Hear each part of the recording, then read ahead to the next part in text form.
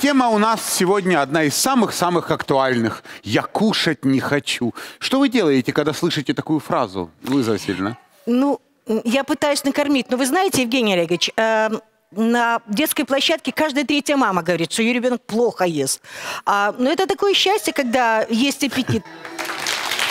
Почему эта тема, связанная с детским аппетитом, с нежеланием ребенка есть, воспринимается всеми так болезненно? Причем, заметьте, э, крайне редко болезненно она воспринимается мужским населением. Но для женского населения вот эта фраза «я кушать не хочу» это, наверное, самое страшное, что вообще женщина может услышать. Разница здесь в чем? В том, что тут работают инстинкты.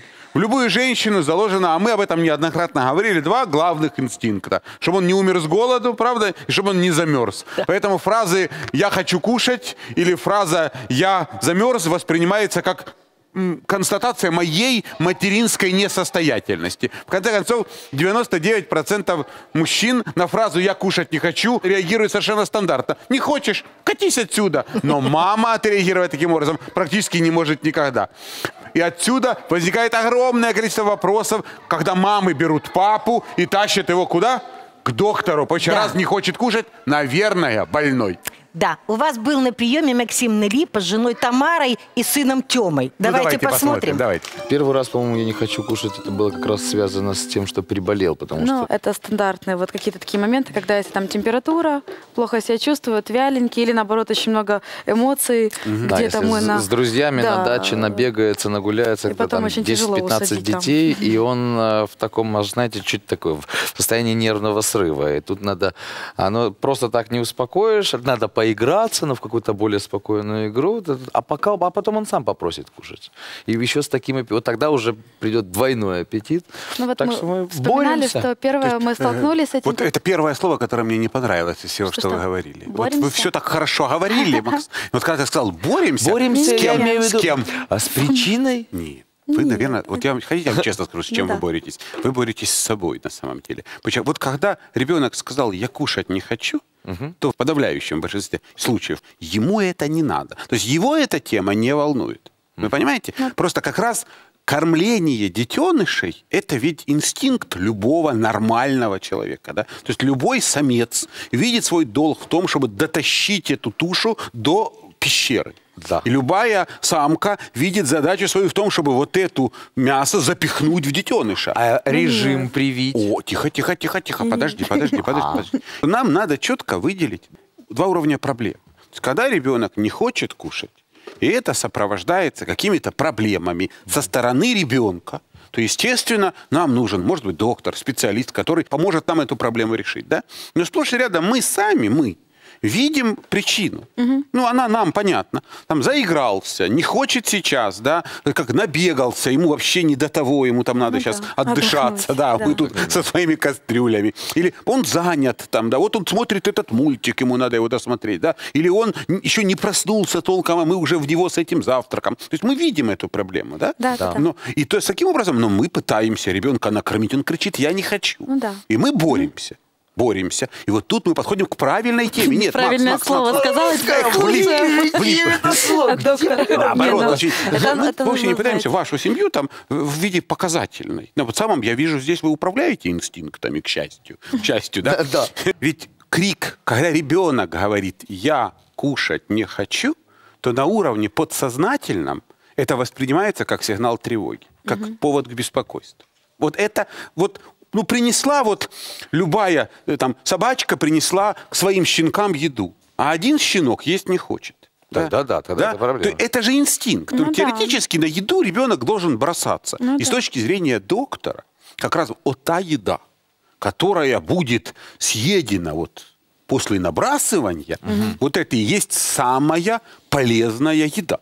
Потому что организм очень хочет. Он желает. А если у него есть аппетит, голод. Ведь есть голод... сок желудочный. Да, да, есть желудочный А сок. в идеале есть- дать каких-то овощей перед тем, как э, кушать, да, там. А ну, тут э, идеала как раз на самом деле нет. такого. На самом Ну, деле... чтобы запустить, как бы. Вот на самом деле, когда очень часто, когда мы обсуждаем всякие проблемы, какая еда хорошая, да, какая еда там усваивается, какая еда не, усва- не усваивается, и очень много на эту тему пишут книжек, снимают фильмов, продают там легко усвояемое мясо, да, да.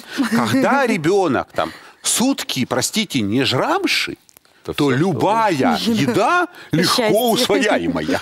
Согласен. Согласны? Ну, Когда он был маленький, у меня была проблема вот моя, которая, я думаю, не, я не единственная мамочка, которая с этим сталкивалась, когда э, я все молола. То есть у меня все пюрешечки, все вот эти все кусочки мяска, оно у нас было все помелено, очень мелко. И Тёма как бы привык все время эту кашечку кушать. Мне было удобно, я очень быстро ему все это давала, он очень быстро все это съедал, ничего не надо было жевать.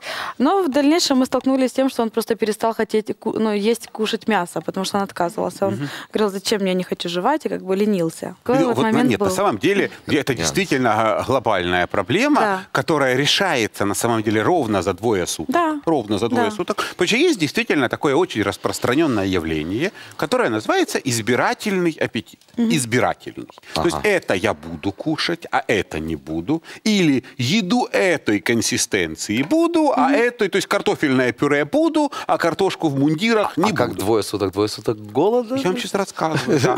Пойти-то папа произнес замечательную фразу, а то вы- вы прямо, вот с вами приятно, ребята, работать. Вы не успеет доктор поставить диагноз, то есть вы ставите диагноз раньше меня. Но тут проблема, она неоднозначная. Дело в том, что действительно идеальным способом решения проблемы избирательного аппетита является голод. Ибо харчами перебирают тогда, когда вот Коли я слоповні. Да. Молодец, пятерка. Вот у ассистенты уже. Замечательно. Теперь отсюда возникает другая проблема. О том, что решение проблемы этой предполагает голод ребенка, а значит ситуацию, когда мать, имеющая в доме еду, возможность еду приготовить, понимаете? Тем не менее, свои функции, причем, заметьте, это функции не социальные, они биологические. То есть она, если ребенок говорит «дай», она говорит «на», а он говорит «не могу, мамочка, дай, дай, дай, дай», вот то, да, а мама говорит «нет». И вот она может говорить вот это «нет», ну, а по моим подсчетам, около 8 часов. Потом мама уже нуждается в неотложной психиатрической помощи, потому что вот да, и поэтому всегда очень бы хотелось, очень бы хотелось, чтобы все женщины страны понимали, что когда в семье возникают проблемы с аппетитом или со, произносит это слово «я кушать не хочу», то очень трудно женщине принимать решение адекватное, потому что решение женщине диктует, как правило, инстинкт. А у мужчины инстинкт другой. Еще раз, то, что я сказали, ему надо Добытчик. доволочь еду до дверей квартиры. После этого он уже свой долг выполнил. Ничего не поменялось в этой жизни, да? Так уже сколько лет, понимаете? И какого, и и сколько бы, поменяется. сколько бы комнат ни было в вашей пещере, понимаете, и какой бы размера не был вот этот бизон, которого он приволок, все остается так же. Поэтому я, собственно, к чему все это говорю? Что когда у вас возникают проблемы, то идти надо к мужьям. И пусть он... Сто процентов. И ты приходишь ему, а ты знаешь, что наш Артем опять не ел. А он говорит, Тема, иди сюда. Молодец, свободен. Все. И говоришь, сына, я тебя очень прошу, если ты не хочешь есть, скажи маме, что ты не хочешь есть. Но вот тут возникает новая проблема. Мамочка должна его чмокнуть и сказать, молодчинка, иди гуляй. Но он не имеет права ничего сожрать до ужина. Вот это принципиальный вопрос. Это не его организм э, требует вот этих принципов. Это требует принцип семейного счастья. Мама тоже человек. Мама нашла время приготовить вам жрать, в конце концов. Если вы сейчас не хотите, то мама, у мамы время на вас будет. Следующее только будет в три часа всё. открываются А если кухни. он пришел с работы, и ты ему говоришь, Максик, тебя покормить? Я не хочу. И ты только ты расслабилась, он приходит, а я хотел бы пожрать. Что это? Это любой женщине известно. Я и сам иногда себя на этом ловлю, понимаете? Не, ну это никогда А, не то есть- трудно, и наоборот, с радостью. и тогда Я ты- так радость, когда Макс, Макс хочет кушать. А это называется словом любовь. Вот. А это тема другой передачи.